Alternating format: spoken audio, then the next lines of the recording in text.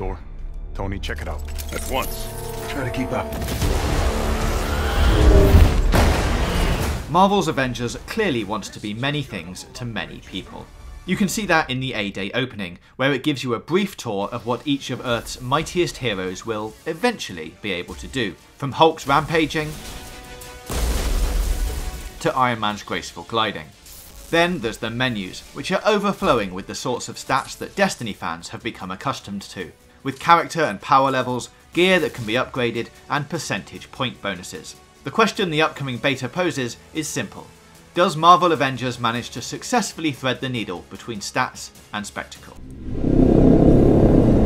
After the A-Day intro, the beta starts to show off levels we haven't seen before, thrusting you into the soon-to-be ripped chinos of Bruce Banner. Bruce, who, with Kamala Khan, is on the hunt for Tony Stark, which sees the pair infiltrating an AIM facility hidden in the Verdant Forest in the hopes of finding a backup of Jarvis. As you can imagine, it's not long before we get the chance to really test out the game's combat. And for Hulk, that includes grabbing enemies into his palm, as well as being able to rip chunks from the ground and hurl them at his foes. Initially, there's a lot of uncomplicated fun to be had in the Green Wrecking Ball, but we'll circle back to that later. It's also in this mission where the game's Naughty Dog influence is felt most. After all, it's hardly the first time a Troy Baker voiced character has guided a teenager through a forest in recent months now, is it? But more importantly, it's in the pacing. After starting the mission as Hulk, we're then put into Kamala Khan, aka Ms Marvel's, stretchy shoes, and the game starts to find its voice.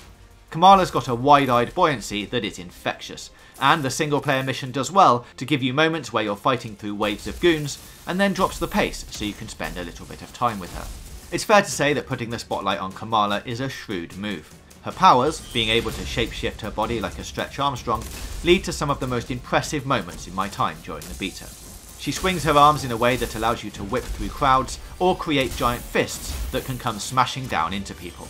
This type of combat might not be revolutionary. You can expect a lot of combos that rely on mixing up light and heavy attacks, but it offers some pleasingly effortless spectacle. The longer I spent with the beta, however, the clearer it became that the combat offerings of each of the various heroes isn't nearly as diverse as I expected it to be. Miss Marvel, Hulk, Black Widow all have differences, but none are so pronounced that it feels like I have to change the way I play.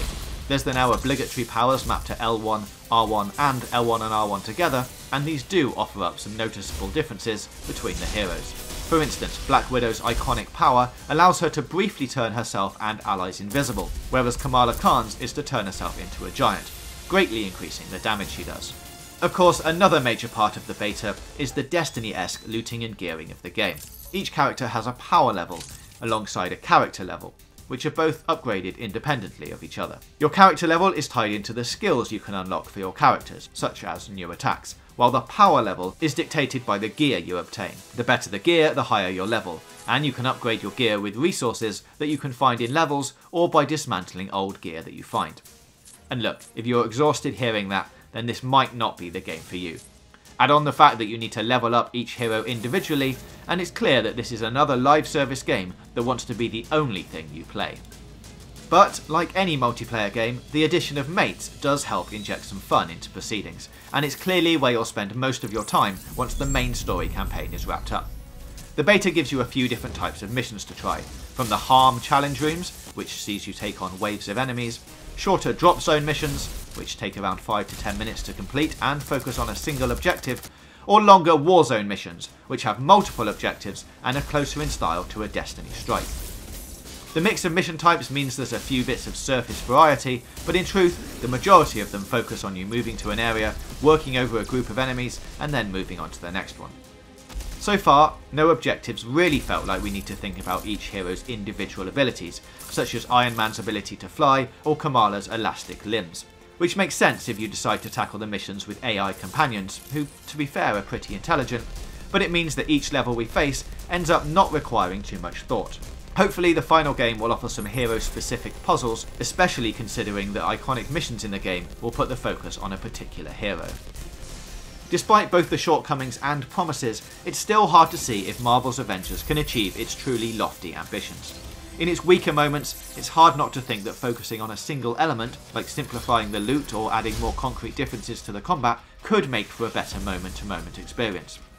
Likewise, is this the game for players of Destiny who want to swap Bungie's shooter for a Marvel flavoured world, or MCU fans who want to fill the space between films with a different type of comic book wish fulfillment? If Crystal Dynamics can figure out how to smooth off some of the more noticeable joins, then it might just appeal to both audiences.